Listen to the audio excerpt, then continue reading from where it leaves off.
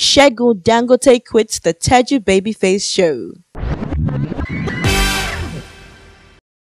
If you are familiar with the Teju Babyface show, then the name Segun Dangote will certainly ring a bell. The assistant host of the TV show, Segun Dangote, speaking with Hip TV, reveals that he has finally left the Teju Babyface show to start his own television show. I'm working on my TV show. A lot of people don't know that I'm actually off the Teju Babyface show. You're hearing this for the first time on Hip TV. Very first time on Hip TV. I left the Teju Babyface show to start my my stuff. Uh, and hey, come to think of it, I, I got the blessing of Teju, right? So we're cool, myself and Teju, really cool. But you know, there are times that you've learned and then it's time for you to also do your thing. And, and so um, we're, we're already working on that. We're already in the studio. We've started shooting. And um, pretty soon you should hear from us.